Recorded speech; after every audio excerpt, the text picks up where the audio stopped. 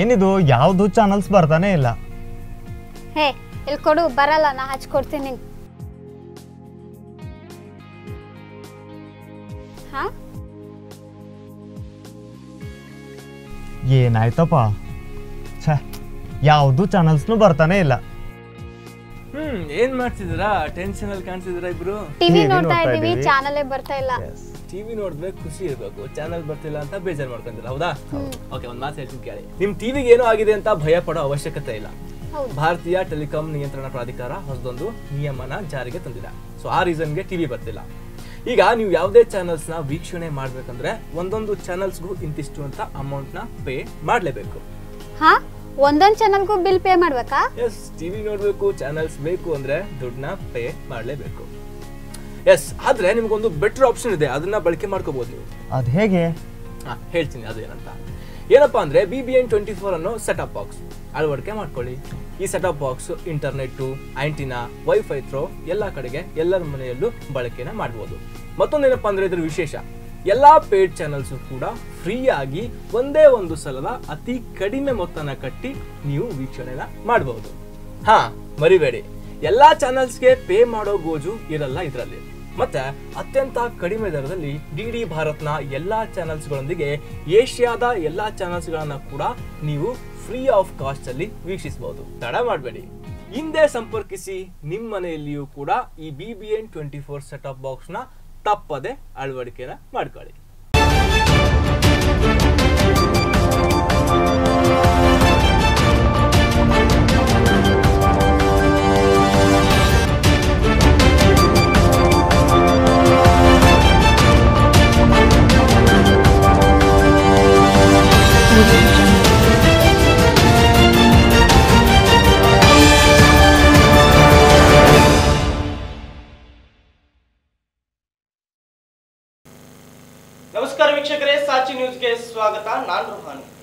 ಮುಖ್ಯಾಂಶಗಳು ಸಮ್ಮಿಶ್ರ ಸರ್ಕಾರದ ಚೊಚ್ಚಲ ಬಜೆಟ್ ಮಂಡನೆ, ಬಜೆಟ್ ಭಾಷಣ ಮಾಡಿದ ಸಿಎಂ ಕುಮಾರಸ್ವಾಮಿ, ವಿವಿಧ ಜನಪರ ಯೋಜನೆಗಳ ಘೋಷಣೆ.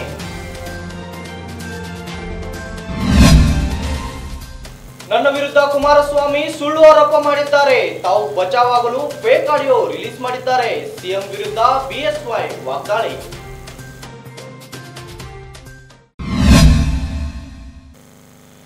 ಬೀಳುಗಳ ಹಾದಿಯನ್ನು ದಾಟಿ ಸಮ್ಮಿಶ್ರ ಸರ್ಕಾರವು ತನ್ನ ಚೊಚ್ಚಲ ಬಜೆಟ್ ಮಂಡನೆ ಮಾಡಿದೆ. ಮುಖ್ಯಮಂತ್ರಿ ಕುಮಾರಸ್ವಾಮಿಗಳು ಬಜೆಟ್ ಮಂಡನೆ ಮಾಡಿದ್ದು ಡಿವಿಜಿ ಅವರ ಮಂಕುತಿಮ್ಮಣ್ಣನ ಕಗ್ಗದ ಸಾಲುಗಳೊಂದಿಗೆ ಬಜೆಟ್ ಭಾಷಣ ಆರಂಭಿಸಿದರು.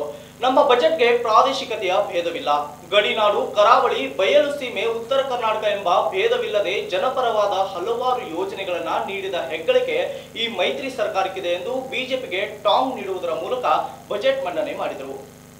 ಈ ಬಾರಿಯ ಬಜೆಟ್ ಮಂಡನೆಯಲ್ಲಿ ಹಲವಾರು ಜನಪರ ಯೋಜನೆಗಳನ್ನು ನೀಡಿದ್ದು ಮಾತೃಶ್ರೀ ಯೋಜನೆಯಡಿ ಗರ್ಭಿಣಿಯರಿಗೆ ಮಾಸಿಕ ಆರು ಸಾವಿರ ರೂಪಾಯಿ ನೆರವು ನೀಡಲಾಗಿದೆ.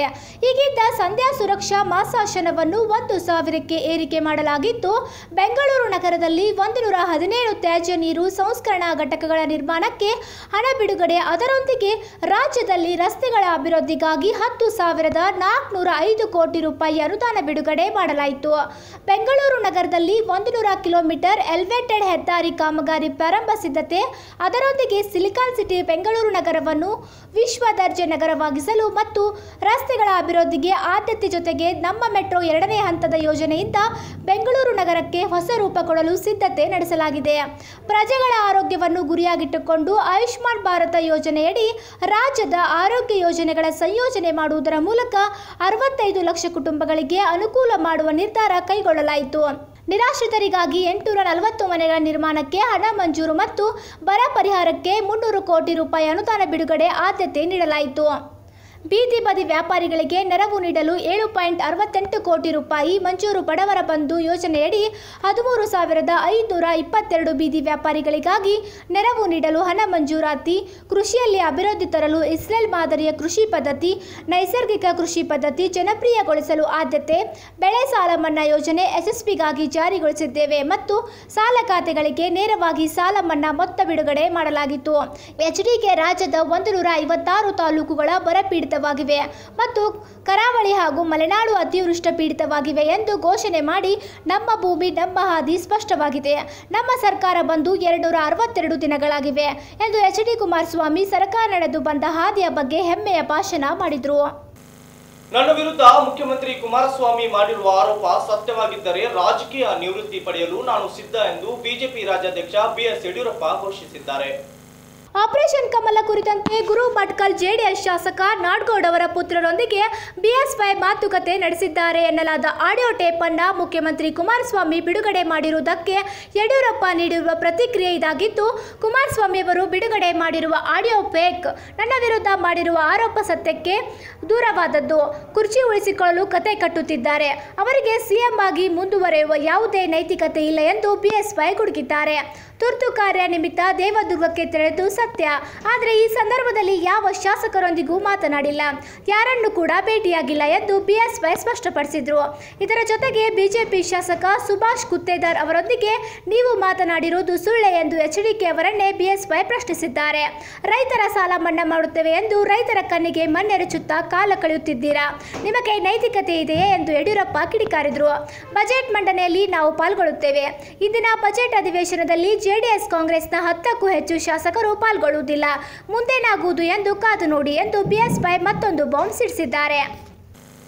ಸಮ್ಮಿಶ್ರ ಸರ್ಕಾರವನ್ನ ಪತನಗೊಳಿಸುವ ಆಪರೇಷನ್ ಕಮಲಕ್ಕೆ ಈವರೆಗೂ ತಾತ್ವಿಕವಾಗಿ ಪ್ರತಿಕ್ರಿಯಿಸುತ್ತಿದ್ದ ಜೆಡಿಎಸ್ ಕಾಂಗ್ರೆಸ್ ಪಕ್ಷಗಳು ಏಕಾಏಕಿಯಾಗಿ ಬಿಜೆಪಿ ವಿರುದ್ಧ ತಿರುಗಿ ಬಿದ್ದಿದ್ದು, ಆಕ್ರಮಣಕಾರಿ ದಾಳಿ ಮಾಡುವ ಮೂಲಕ ಬಿಜೆಪಿಯನ್ನು ದಿಗ್ಭ್ರಮೆಗೊಳಿಸಿವೆ. ನಾಲ್ವರು ಕಾಂಗ್ರೆಸ್ನ ಅತೃಪ್ತ ಶಾಸಕರನ್ನು ಮುಂಬೈನಲ್ಲಿ ಕೂಡಿಟ್ಟುಕೊಂಡು ಇನ್ನಷ್ಟು ಶಾಸಕರನ್ನು ಸೆಳೆಯುವ ಪ್ರಯತ್ನ ನಡೆಸುತ್ತಿರುವ ಬಿಜೆಪಿ ವಿರುದ್ಧ ಇಂದು ಜೆಡಿಎಸ್ ಕಾಂಗ್ರೆಸ್ ಹಲವು ದಿಕ್ಕುಗಳಿಂದಲೂ ಪ್ರತಿ ದಾಳಿ ನಡೆಸಿವೆ. ಮುಖ್ಯಮಂತ್ರಿ ಗೃಹ ಕಚೇರಿ ಕೃಷ್ಣಾದಲ್ಲಿ ಮುಖ್ಯಮಂತ್ರಿ ಎಚ್ ಡಿ ಕುಮಾರಸ್ವಾಮಿ ಮತ್ತು ಉಪಮುಖ್ಯಮಂತ್ರಿ ಡಾಕ್ಟರ್ ಜಿ ಪರಮೇಶ್ವರ್ ಜಂಟಿ ಪತ್ರಿಕಾಗೋಷ್ಠಿ ನಡೆಸಿ ಆಪರೇಷನ್ ಕಮಲದ ಆಡಿಯೋ ಬಿಡುಗಡೆ ಮಾಡಿದ್ದಲ್ಲದೆ ಜೆಡಿಎಸ್ ಶಾಸಕರನ್ನು ಸೆಳೆಯಲು ಬಿಜೆಪಿಯವರು ಕುಟುಂಬದ ಸದಸ್ಯರನ್ನು ಸಂಪರ್ಕಿಸಿ ನಡೆಸಿದ ಮಾತುಕತೆಯ ಪ್ರತ್ಯಕ್ಷ ಸಾಕ್ಷಿಯನ್ನು ಪತ್ರಿಕಾಗೋಷ್ಠಿಯಲ್ಲಿ ಹಾಜರುಪಡಿಸಿದ್ರು ಸಮ್ಮಿಶ್ರ ಸರ್ಕಾರವನ್ನು ಪತನಗೊಳಿಸುವುದಾಗಿ ಹೇಳುತ್ತಾ ಆಪರೇಷನ್ ಕಮಲ ನಡೆಸುತ್ತಿದ್ದ ಬಿಜೆಪಿಯವರು ಒಳಗೊಳಗೆ ವಿಧಾನಸಭಾ ಅಧ್ಯಕ್ಷರನ್ನು ಬದಲಾವಣೆ ಮಾಡುವ ಹುನ್ನಾರ ನಡೆಸಿದ್ದಾರೆ ಎಂಬ ಮಾಹಿತಿ ದೋಸ್ತಿ ಪಕ್ಷಗಳಿಗೆ ಸಿಕ್ಕಿದೆ. ಸಮ್ಮಿಶ್ರ ಸರ್ಕಾರಕ್ಕೆ ಆಪತ್ಕಾಲದಲ್ಲಿ ರಕ್ಷಕರಂತಿರುವ ಸ್ಪೀಕರ್ ಅವರ ಸ್ಥಾನವನ್ನೇ ಬದಲಾವಣೆ ಮಾಡುವ ತಂತ್ರಗಾರಿಕೆಯ ಸುಳಿವು ಸಿಗುತ್ತಿದ್ದಂತೆ ಸಿಟ್ಟಿಗೆದ್ದ ಕಾಂಗ್ರೆಸ್ ಹಾಗೂ ಜೆಡಿಎಸ್ ನಾಯಕರು ಬಿಜೆಪಿ ವಿರುದ್ಧ ಆಕ್ರಮಣಕಾರಿ ದಾಳಿ ನಡೆಸಿದ್ದಾರೆ. ನಿರೀಕ್ಷಣೆಯಂತೆ ಕಾಂಗ್ರೆಸ್ನ ಐದು ಮಂದಿ ಶಾಸಕರು ಗೈರು ಹಾಜರಾಗಿದ್ದಾರೆ ಉಳಿದಂತೆ ಬಹುತೇಕ ಎಲ್ಲ ಶಾಸಕರು ಹಾಜರಾಗಿದ್ದು, ತಾವು ಸಮ್ಮಿಶ್ರ ಸರ್ಕಾರಕ್ಕೆ ಬದ್ಧರಾಗಿರುವುದಾಗಿ ಭರವಸೆ ನೀಡಿದ್ದಾರೆ. ಗೈರು ಹಾಜರಾಗಿರುವ ಬಂಡಾಯ ಶಾಸಕರಿಗೆ ಪಕ್ಷಾಂತರ ನಿಷೇಧ ಕಾಯ್ದೆಯ ಮೂಲಕ ಕಾನೂನಿನ ಬಿಸಿ ಮುಟ್ಟಿಸಲು ನಿರ್ಧರಿಸಲಾಗಿದೆ. ಹಿಂದೂಗಳ ಮೇಲಾಗುತ್ತಿರುವ ಅನ್ಯಾಯವನ್ನು ತಡೆಗಟ್ಟಲು ಹಿಂದೂ ಜನಜಾಗೃತಿ ವೇದಿಕೆಯಿಂದ ಫೆಬ್ರವರಿ ಹತ್ತಕ್ಕೆ ಬೆಳಗಾವಿ ನಗರದ ವಡಗಾಂವದಲ್ಲಿ ಹಿಂದೂ ರಾಷ್ಟ್ರ ಜಾಗೃತಿ ಸಭೆಯನ್ನ ಆಯೋಜಿಸಲಾಗುವುದೆಂದು ಋಷಿಕೇಶ್ ಗುರ್ಜರ್ ಹೇಳಿದರು. ಇಂದು ಬೆಳಗಾವಿಯ ಕನ್ನಡ ಸಾಹಿತ್ಯ ಭವನದಲ್ಲಿ ಹಿಂದೂ ಜನ ಜಾಗೃತಿ ವೇದಿಕೆ ವತಿಯಿಂದ ಹಮ್ಮಿಕೊಂಡ ಸುದ್ದಿಗೋಷ್ಠಿಯಲ್ಲಿ ಮಾತನಾಡಿದ ಅವರು, ಹಿಂದೂಗಳ ಮೇಲೆ ನಿರಂತರವಾಗಿ ಶೋಷಣೆ ಮತ್ತು ಅತ್ಯಾಚಾರಗಳು ನಡೆಯುತ್ತಲೇ ಇವೆ. ಈ ಸಂದರ್ಭದಲ್ಲಿ ಹಿಂದೂಗಳು ಎಚ್ಚೆತ್ತುಕೊಳ್ಳಬೇಕು ಮತ್ತು ಸಂಘಟಿತಗೊಂಡು ಹಿಂದೂ ರಾಷ್ಟ್ರ ಸ್ಥಾಪನೆಗೆ ಬುನಾದಿ ಹಾಕಬೇಕು. ಆದ್ದರಿಂದ ಎಲ್ಲರನ್ನು ಜಾಗೃತಿಗೊಳಿಸಲು ಬೆಳಗಾವಿ ನಗರದ ವಡ್ಗಾಂವ್ನಲ್ಲಿ ಫೆಬ್ರವರಿ ಹತ್ತರಂದು ಹಿಂದೂ ರಾಷ್ಟ್ರ ಜಾಗೃತಿ ಸಭೆಯನ್ನು ಹಮ್ಮಿಕೊಳ್ಳಲಾಗುತ್ತಿದೆ ಎಂದರು. ಈ ಸಂದರ್ಭದಲ್ಲಿ ಡಾಕ್ಟರ್ ಜ್ಯೋತಿ ದಾಬಳ್ಕರ್ ಹಿಂದೂ ಜನಜಾಗೃತಿ ಸಮಿತಿಯ ರಣರಾಗಿಣಿ ಶಾಖೆಯ ಸಮಿತಾ ಗುರ್ಜರ್ ಸೇರಿದಂತೆ ಇನ್ನಿತರರು ಉಪಸ್ಥಿತರಿದ್ದರು. ಈಗೊಂದು ಚಿಕ್ಕ ವಿರಾಮ, ವಿರಾಮದ ನಂತರ ಮತ್ತೆ ಸುದ್ದಿ ಮುಂದುವರಿಯುತ್ತದೆ.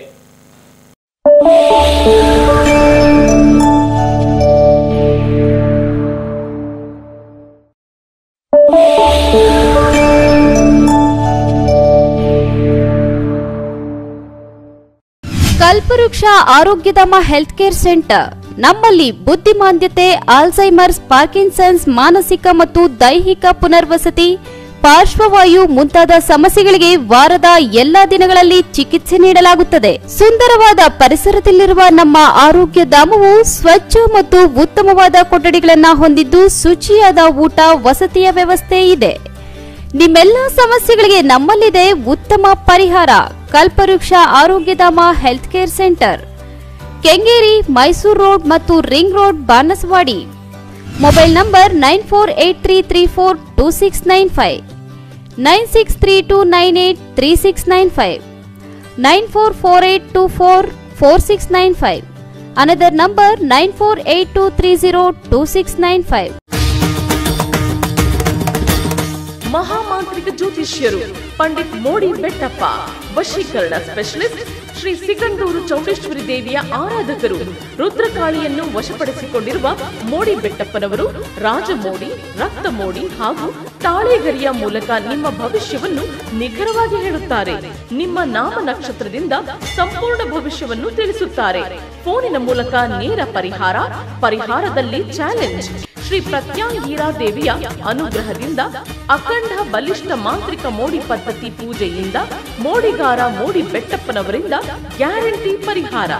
ರಾಜಮೋಡಿ ರಣಮೋಡಿ ತಂತ್ರ ಮೋಡಿ, ಸ್ಮಶಾನ ಕಾಳಿ ಮೋಡಿ ಪದ್ಧತಿಯಿಂದ ಸ್ತ್ರೀ ಪುರುಷ ವಶೀಕರಣಕ್ಕೆ ಮೋಡಿ ಪೂಜೆ ಮತ್ತು ಚೌಡಿ ಪ್ರಯೋಗಗಳಿಂದ ಕೇವಲ ಮೂರು ದಿನಗಳಲ್ಲಿ ಶಾಶ್ವತ ಪರಿಹಾರ. ನಿಮ್ಮ ಒಂದು ಕರೆ ನಿಮ್ಮ ಭವಿಷ್ಯವನ್ನೇ ಬದಲಿಸಬಲ್ಲದು. ವಿಶೇಷ ಸೂಚನೆ, ಇವರಲ್ಲಿ ಅನೇಕ ರಾಜಕೀಯ ವ್ಯಕ್ತಿಗಳು, ಸಿನಿಮಾ ನಟ ನಟಿಯರು ಹಾಗೂ ಗಣ್ಯ ವ್ಯಕ್ತಿಗಳು ಪರಿಹಾರ ಪಡೆದುಕೊಂಡಿರುತ್ತಾರೆ. ಮೊಬೈಲ್ ಸಂಖ್ಯೆ ಒಂಬತ್ತು ಒಂಬತ್ತು ಎಂಟು ಸೊನ್ನೆ ಸೊನ್ನೆ ಐದು ಮೂರು ಸೊನ್ನೆ ಎಂಟು ಏಳು.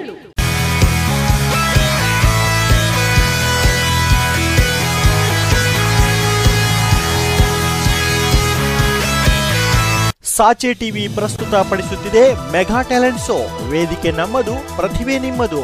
ಪ್ರಪ್ರಥಮ ಬಾರಿಗೆ ಶಾಲಾ ಮಕ್ಕಳಿಗಾಗಿ ಮೆಗಾ ಟ್ಯಾಲೆಂಟ್ ಶೋ ಅತಿ ಶೀಘ್ರದಲ್ಲಿ ಬರಲಿದೆ.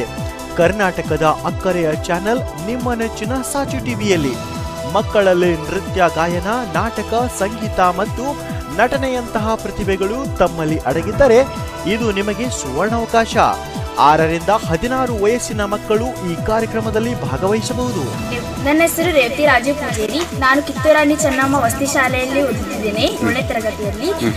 ನಾನು ಸಚಿ ಟಿವಿ ಮಾಡುತ್ತಿರುವ ಡ್ಯಾನ್ಸಿಂಗ್ ಆಕ್ಟಿಂಗ್ ಸಿಂಗಿಂಗ್ ಕಾರ್ಯಕ್ರಮದಲ್ಲಿ ಭಾಗವಹಿಸುತ್ತಿದ್ದೇನೆ. So all the best Sachi TV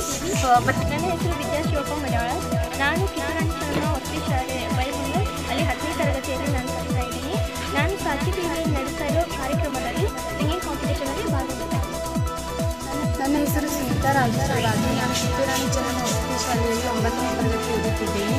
ಸಾಹಿತ್ಯ ನಡೆಸುತ್ತಿರುವ ಸಿಂಗಿಂಗ್ ಆಕ್ಟಿಂಗ್ ಡ್ಯಾನ್ಸಿಂಗ್ ಕಾರ್ಯಕ್ರಮದಲ್ಲಿ ನಾನು ಕೂಡ ಭಾಗವಹಿಸಿದ್ದೇನೆ. All the best such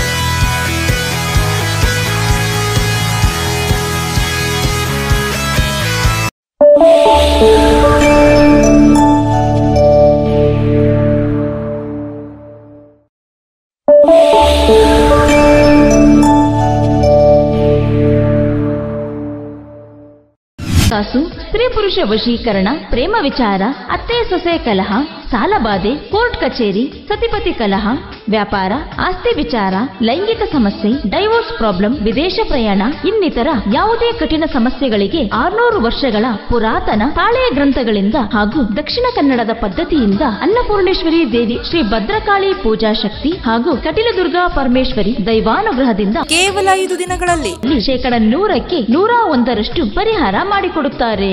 Your any problem solution in five days ವಿಶೇಷ ಸೂಚನೆ ಮದುವೆ ಸಂತಾನ ವಶೀಕರಣ ಮಾಟಾಮಂತ್ರ ಸಮಸ್ಯೆಗಳಿಗೆ ಸುದರ್ಶನ ಚಕ್ರವನ್ನು ಪೂಜಿಸಿ ಸಿದ್ಧಿಸಿಕೊಡುತ್ತಾರೆ. ಇವರು ಕೊಟ್ಟ ಪರಿಹಾರ ಇವರಿಗಿಂತ ಮೊದಲು ಬೇರೆ ಯಾರೇ ಮಾಡಿಕೊಟ್ಟಲ್ಲಿ ಸೂಕ್ತ ಬಹುಮಾನ ಕೊಡಲಾಗುವುದು. ನಿಮ್ಮ ಸಮಸ್ಯೆಗೆ ಪರಿಹಾರ ಸಿಗದಿದ್ದರೆ ನಿಮ್ಮ ಹಣವನ್ನು ವಾಪಸ್ ನೀಡಲಾಗುವುದು. ಹೊರನಾಡು ಶ್ರೀ ಅನ್ನಪೂರ್ಣೇಶ್ವರಿ ಕ್ಷೇತ್ರ ಮಹಿಮೆಯಿಂದ ನಿಮ್ಮ ಸಮಸ್ಯೆಗಳಿಗೆ ಕೇವಲ ಐದು ದಿನಗಳಲ್ಲಿ. ಶಾಶ್ವತ ಪರಿಹಾರ ತಿಳಿಯಲು ಇಂದೇ ಕರೆ ಮಾಡಿ.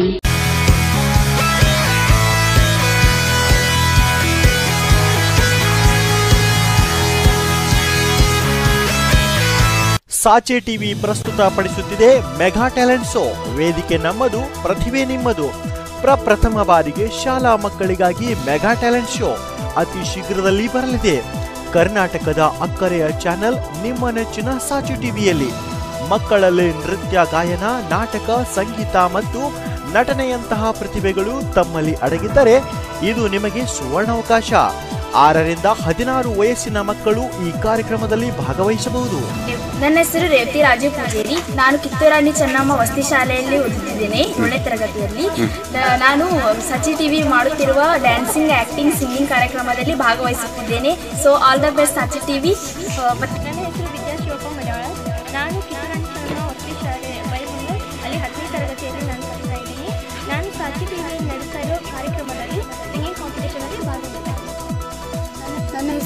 Sunita Rajaraju ನಾನು ಕಿತ್ತೂರಾಣಿ ಚೆನ್ನಮ್ಮ ವಸತಿ ಶಾಲೆಯಲ್ಲಿ ಒಂಬತ್ತನೇ ತರಗತಿ ಓದುತ್ತಿದ್ದೇನೆ ಸಾಹಿತ್ಯ ನಡೆಸುತ್ತಿರುವ ಸಿಂಗಿಂಗ್ ಆ್ಯಕ್ಟಿಂಗ್ ಡ್ಯಾನ್ಸಿಂಗ್ ಕಾರ್ಯಕ್ರಮದಲ್ಲಿ ನಾನು ಕೂಡ ಭಾಗವಹಿಸಿದ್ದೇನೆ all the best first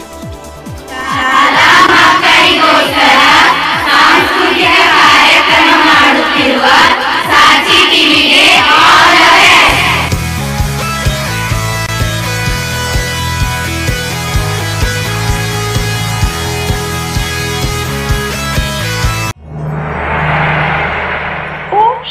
Shri Bheemambika Devi ಜ್ಯೋತಿಷ್ಯರು, Om Shri Kateel Durgadevi ಉಪಾಸಕರು, ಪಂಡಿತ್ ಮಹಿಷಾಸುರ ಗುರೂಜಿ. ನಿಮ್ಮ ಸಮಸ್ಯೆ ಏನೇ ಇರಲಿ, ಎಷ್ಟೇ ಕಠಿಣವಿರಲಿ, ನೂರಕ್ಕೆ ನೂರರಷ್ಟು ಶಾಶ್ವತವಾದ ಪರಿಹಾರ, ಕೇವಲ ಒಂದು ದಿನದಲ್ಲಿ ಶಾಶ್ವತ ಪರಿಹಾರ ಶತಸಿದ್ಧ ಕೊಳ್ಳೆಗಾಲ ಹಾಗೂ ಕೇರಳದಿಂದ ನೇರ ಪರಿಹಾರ. ಇದಕ್ಕೆ ನಾನು ಪ್ರಮಾಣ ಮಾಡಿ ಹೇಳುವೆನು. ಕೇವಲ ಒಂದು ದಿನದಲ್ಲಿ ಶಾಶ್ವತವಾದ ಪರಿಹಾರವನ್ನ ಮಾಡಿಕೊಡುವರು. ಫೋನಿನ ಮೂಲಕವೇ ಶಾಶ್ವತ ಪರಿಹಾರ ಮಾಡಿಕೊಡುತ್ತಾರೆ. ಓಂ ಶ್ರೀ ಇಟಗಿ ಭೀಮಾಂಬಿಕಾ ದೇವಿ ಜ್ಯೋತಿಷ್ಯರು, ಕೊಳ್ಳೆಗಾಲ ಹಾಗೂ ಕೇರಳದಿಂದ ನೇರ ಪರಿಹಾರ. ಓಂ ಶ್ರೀ ಕಟೀಲು ದುರ್ಗಾದೇವಿ ಉಪಾಸಕರು, ಪಂಡಿತ್ ಮಹಿಷಾಸುರ ಗುರೂಜಿ. ಒಂಬತ್ತು ಏಳು ನಾಲ್ಕು ಸೊನ್ನೆ ಏಳು ಒಂಬತ್ತು ಏಳು ಎಂಟು ಐದು ನಾಲ್ಕು ಮತ್ತು ಒಂಬತ್ತು ಒಂಬತ್ತು ನಾಲ್ಕು ಐದು ಆರು ಏಳು ಎರಡು ಎಂಟು ಐದು ಎರಡು.